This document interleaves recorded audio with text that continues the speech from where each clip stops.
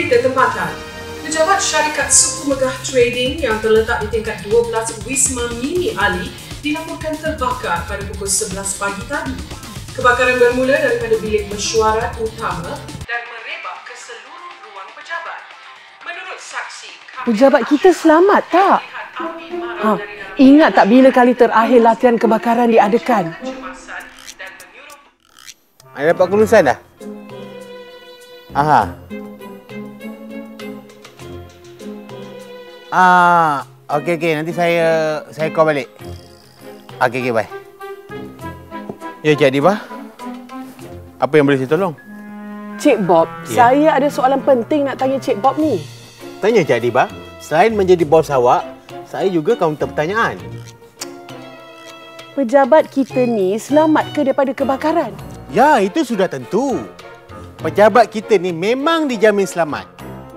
Selama awak bekerja kat sini. Pernah awak angus terbakar?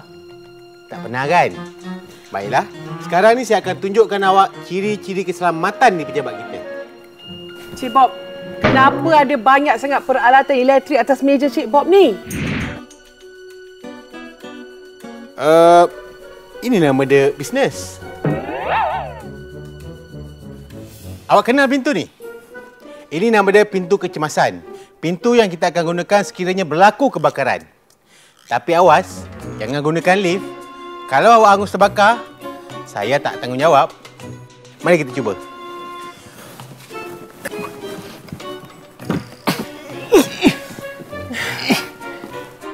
Lah patutlah Cik Bob. Tengok ni. Dah jadi macam store. Kalau berlaku kebakaran bukan setakat saya. Dengan Cik Bob sekali hangus. Eh, janganlah. Kenapa? Mana tahu ada barang kat sini yang mudah terbakar.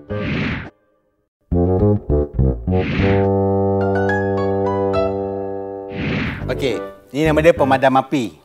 Ia mempunyai kod mengikut jenis kebakaran. Ah, contohnya macam ni, ABC. Ini pemadam jenis debu kering yang digunakan untuk memadamkan kebakaran daripada pelbagai bahan. Oh. Ha. Habis yang kecil ni? Okey, yang kecil ni pula jenis karbon dioksida. Okey, ia digunakan untuk memadamkan kebakaran yang berpunca di antaranya daripada barangan elektrik. Oh, kalau misalnya barangan elektrik dalam bilik Cik Bob tu terbakar, kita pakai yang ni lah. Eh, Yalah. Okey, saya akan tunjukkan cara gunakan ni. Nak? tak payahlah mana ada kebakaran. Boleh kalau saya tak tunjuk macam mana nak tahu. Eh. Eh, kenapa ringan ni? Ringan. Sini. Ha. Lah, dia ringan sebab dia kosong lah Cik Bob. Macam mana nak padam kebakaran? Debu kering lah, karbon dioksida lah. Uh.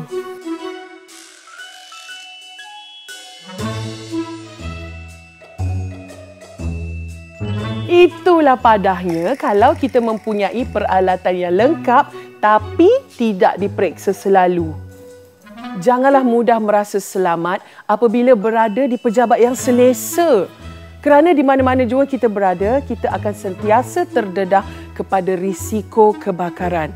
Tambah-tambah lagi kalau kita mengambil ringan langkah-langkah pencegahannya.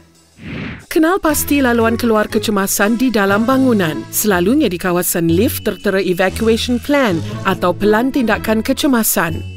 Anda harus ingat, jangan menghalang laluan kecemasan atau tangga keluar dengan barang-barang atau apa saja. Pintu rintangan api juga harus sentiasa ditutup untuk mengelakkan api dan asap merebak jika berlaku kebakaran. Latihan pencegahan kebakaran, penggunaan pemadam api dan pelan tindakan keselamatan mesti diadakan sekurang-kurangnya setahun sekali. Ketua jabatan boleh memohon bantuan Jabatan Bomba dan Penyelamat untuk memberikan nasihat mengenai jenis latihan yang diperlukan.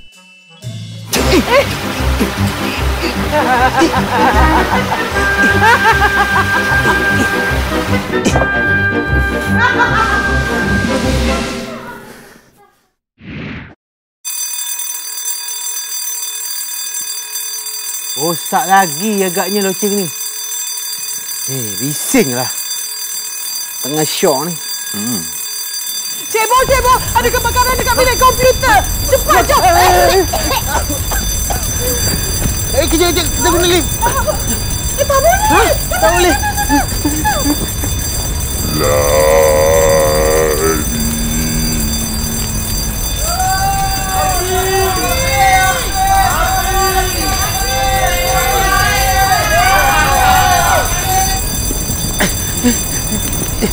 Cik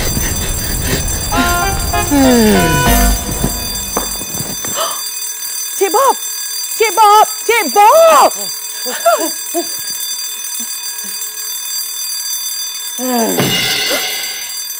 Sekiranya berlaku kebakaran, jangan panik. Ikut laluan kecemasan yang telah disediakan.